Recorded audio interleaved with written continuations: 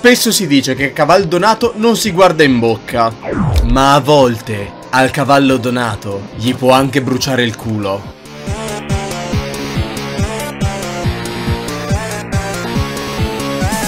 Hi people of YouTube, welcome back to a new episode of Assaggiamo. A parte gli scherzi, benvenuti in questa nuova puntata.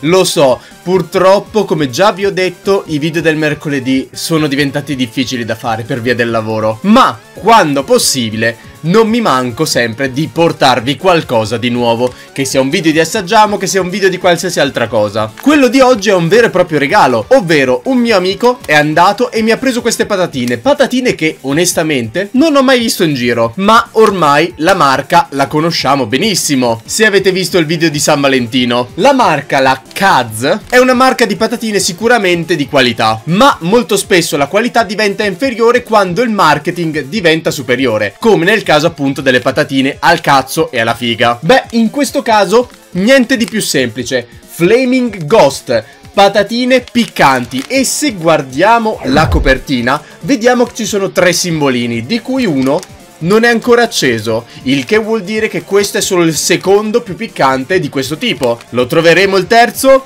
Non lo so. Leggiamo i livelli di piccantezza, come se fosse un video di Dragon Ball. Abbiamo lo Scotch Bonnet, 350.000. Abbiamo il Ghost Pepper, 1.300.000. Il Cipotle, 8.000. Questo effettivamente forse è il più basso. E l'altra volta lo Scotch Bonnet. Per qualche motivo due volte è stato messo lo stesso. Non potevano mettere un altro peperoncino, no, hanno dovuto ripetere due volte lo stesso. Ma comunque, non so quanto l'abbia pagato. 50 grammi, però conoscendo la marca sono sicuro che l'abbia pagato abbastanza. Apriamole.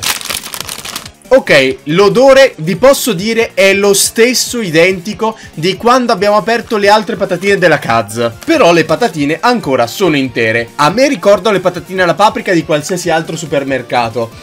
L'odore, come vi dicevo, non lo sento piccante. Non percepisco un odore piccante, sento solo l'odore delle patatine appunto della Kaz. Però questa qui, come vedete, è bella carica. Assaggiamola. Allora, il piccantino si espande subito sulla lingua. Lo senti subito appena inizi a masticarla? Non capisco se tutti e tre i peperoncini sono mixati assieme o ogni patatina è più di una e più di un'altra. Però una volta che sono qui nel pacchetto, comunque, tutto si mischia. Prendiamone un'altra, bella carichina. Si sente, si sente tanto, ma è un sapore che comunque ti rimane in bocca, ma non ti lascia stupefatto, diciamo. Non ti lascia catafratto. Cioè, non le mangerei tutte quante in una botta sola. Ma non ti posso neanche dire che non finirei il pacchetto. Comunque, a livello di piccante, ci stanno. Si percepisce. Io il ghost pepper l'ho mangiato. Vi posso dire che questo è molto molto più basso di livello. Forse appunto ne hanno messo di meno. Forse mixato con tutto il resto perde la sua forza. Non lo so, però non ti lascia tutto tutto morente. Però sono mangiabili, sono letteralmente mangiabili. Non godibili perché comunque queste patatine, diciamolo, sono fatte per questi tipi di video, per quelle sfide. Devi mangiare la patatina piccante, se no devi bere, devi mangiare... Onestamente sono patatine che compri per il semplice gusto di fare questo tipo di contenuto o per il semplice fatto di fare una sfida, una serata divertente, particolare, ma ovviamente non sono patatine che compreresti al supermercato in continuazione, a differenza delle Takis. Le Takis se le mettessero nei supermercati normali, non ti dico ogni sera, ma una volta ogni tanto me le spaccherei volentieri. Queste qui invece sono patatine che ovviamente hanno un costo molto elevato, probabilmente soprattutto qua in Italia, ma sono patatine patatine onestamente sì di qualità, ma che servono letteralmente per farti provare dolore. Dunque signori, diamo il voto a queste patate. Ovviamente parliamo del livello di piccante, non parliamo del gusto della patata, che comunque è buono, ma è comunque una patatina. Onestamente mi sento di dare un 7,5.